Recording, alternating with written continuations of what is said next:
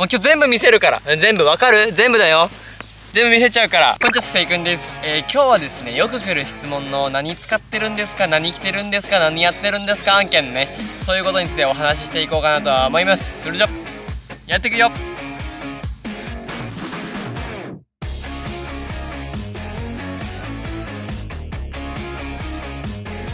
ということでね今回はねよく来る質問の一つ。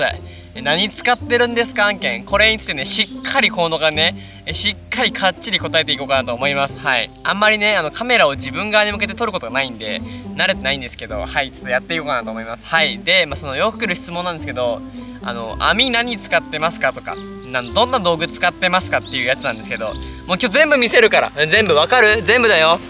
全部見せちゃうから。だからねこの動画を見れば、まあ、全部分かっちゃうと。そういう話ですよ。はい。ということでねまず服装からいきましょうか。服装はねこんな感じでございます。服装。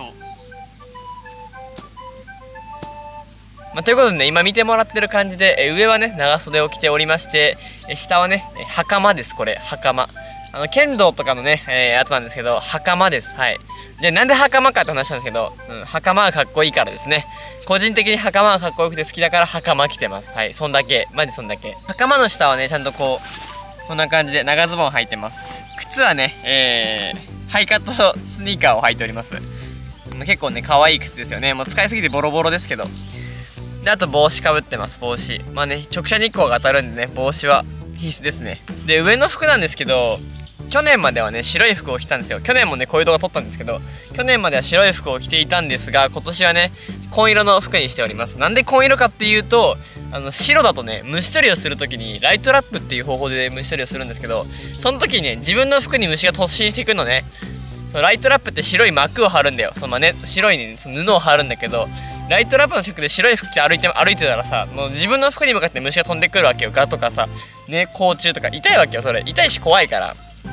今はね、今回の紺色の服に貼せていただきました。大体ね、毎年1回これ買い、あの、買い替えてるんですけど、今回はね、結構、あの、いいやつを買ったんで、まあ、2年ぐらい持ってくれないかなと思ってます。はい。手袋は、まあ、皆さんいつも見てると思うんですけど、こんな感じで、指先が出た手袋ですね。セリアで売られてる手袋のその指先切っただけだから。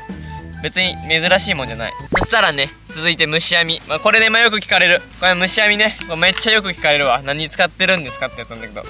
何使ってるんですかとかないんだよね別に俺そのブランドとかさ特に興味ない人だからあれなんだけど書いてあるのかこれここにブランド書いてあると思うんだけどこれ使ってますでねまあ一応ねこの長竿って言われるやつで、まあ、これはもともとね今が多分 1m ぐらいあるんだよ 1m ぐらいからまあ大体その 5m40cm まで伸びるんだけどあのね俺と同じやつは買わない方がいいと思う。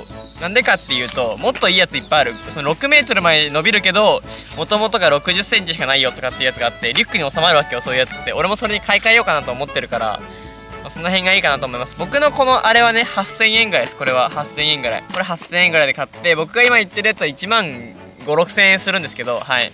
まあ、でもね、まあ、そっちの方がやっぱいいじゃないですか。やっぱ手もその短い方が。なんでそっちがいいかなと思います、まあ、僕とお揃いのやつがいい方はねこれも釣り具屋さんに行けばねこんなのいっぱい売ってるんで。はい。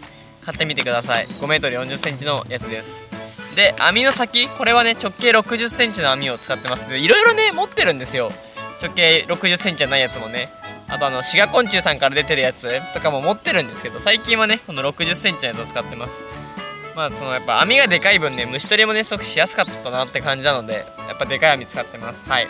多分これもねよく来る質問の1個なんですけどこの長竿をどうやって使ってるのっていう話なんですよ。長竿ってこう何て言うんだろうな。こうストッパーがないんですよ言ってみたら。ここにこうこうなんか伸ばしきってストッパーになるんですよね。ここのこの部分が。だから言ってみたらこの余ってるここの部分が邪魔なんですよね。だからこれどうやって使ってるのって話なんですけど。まあ竿がこうあるじゃないですか。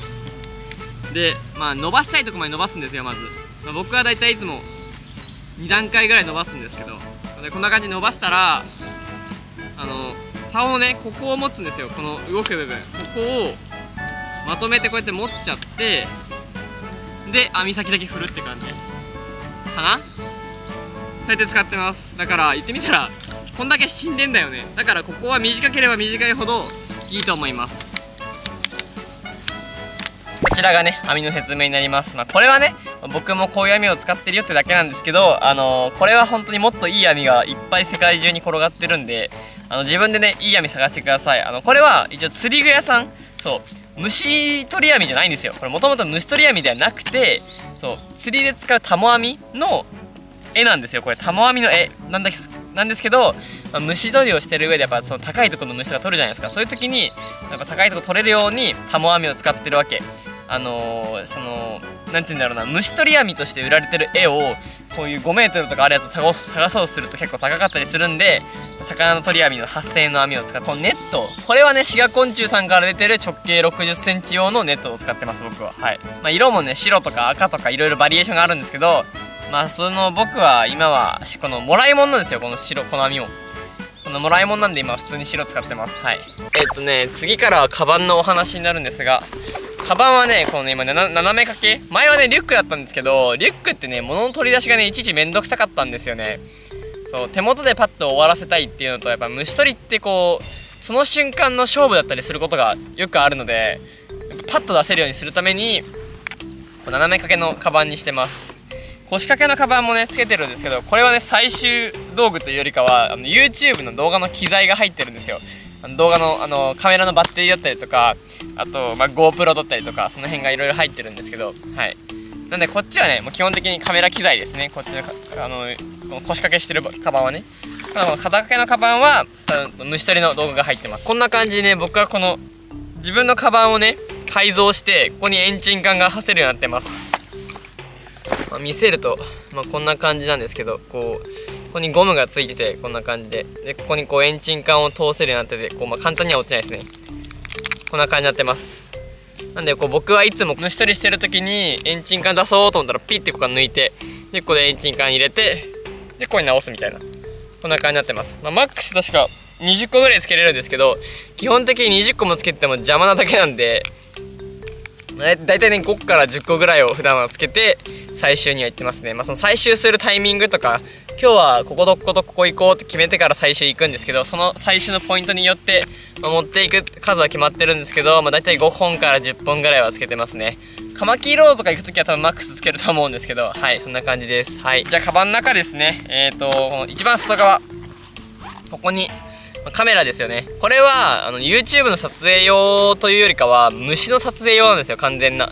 あの TG7 って。僕はよくじゃあこれちょっと TG で撮ってみようかとかって動画でよく言うんだけどその TG7 だね。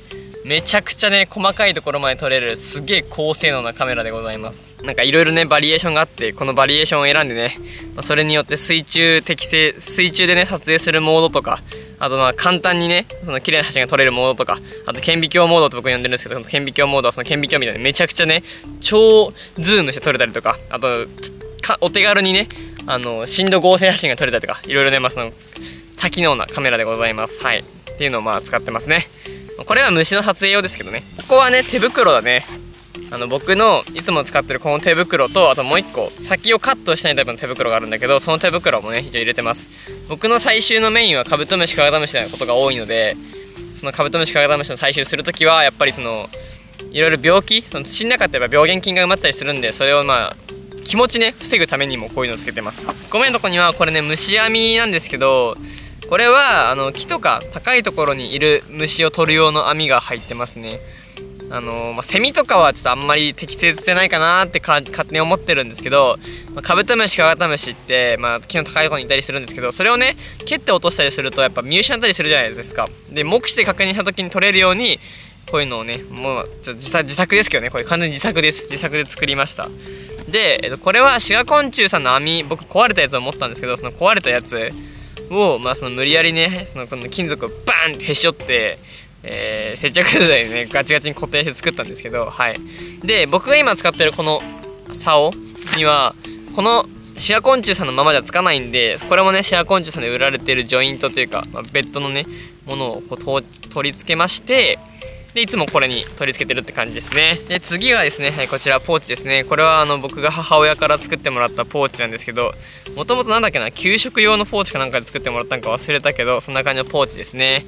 この中はね、はい、ポイ袋が入ってます。僕もあの生き物の標本を作ったりするんですけどの標本をねその生き物を締めて持って帰る時に締めた後の虫を入れたりするためのポリ袋が入ったりします。こちらはいこれスポークですねスポーク。はい。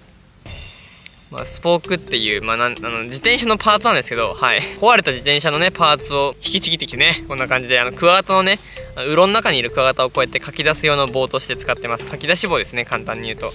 こんな感じでね先が曲がっていてまあ、細いんでねこうやってうろの中に書き出ししやすいやつになってますね、まあ、大体2本は持ってますね。1本じゃ足りないことが多いんで2本は持ってます。であとお金が入ってます。はい、まあ、大体こういくら入ってるとか僕もあんまり把握したいんですけどいくら入ってんだろう今。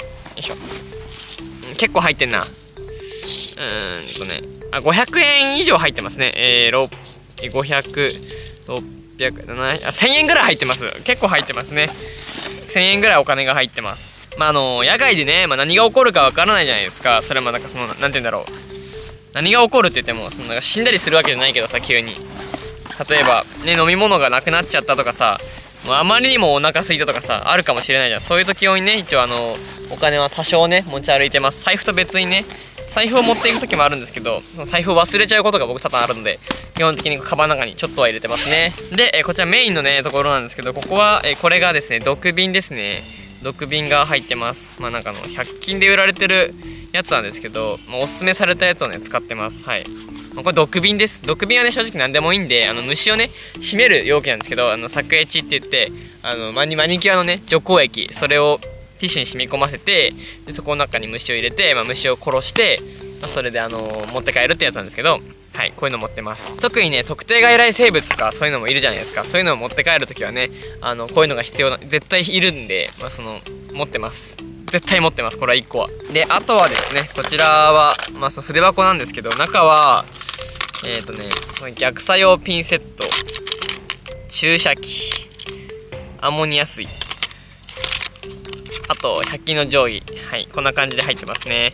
なんでこういうの入れてるかっていうと、まあ、定規はさ、皆さんわかると思うんですけど、僕、カブトムシ、カガタムシが好きなんで、カブトムシ、カガタムシは、まあ、その、ノギスはね、重たいんですよ、結構、やっぱ、あれ、ものとして。ノギスじゃなくて、まあ、外でね、簡易的に何ミリぐらいあるかっていうのをパッと測れるように持ってます。注射器は、前ね、あの、標本作る動画で説明したんですけど、まあ、アンモニアとセットなんですけど、これね、あの、ガを締めるようですね。ガを締めて持って帰るよう。まあ、ピンセットは、まあ、YouTuber だからっていうのもあるし、まあ、その虫をねやっぱ捕まえる上でやっぱピンヘッドって必須だ必須だったりするんでそのために持ってます。こちらセルケースですね。最近はね入れてます基本的に。あのカブトムシカブトムシを取りに行ける時期にあったんでセルケースが入ってます。これも100均のセルケースでまあ大体ねそのたくさんは持って帰らないんで3つしかないです。これ逆にいっぱいあるやつを使っちゃうと持って帰っちゃうんですね僕その僕良くない癖でね。なんでこのちっちゃいやつで、まあ、大型のクワガタだけ持って帰れるようにしてます。はい。えー、これですね。はい。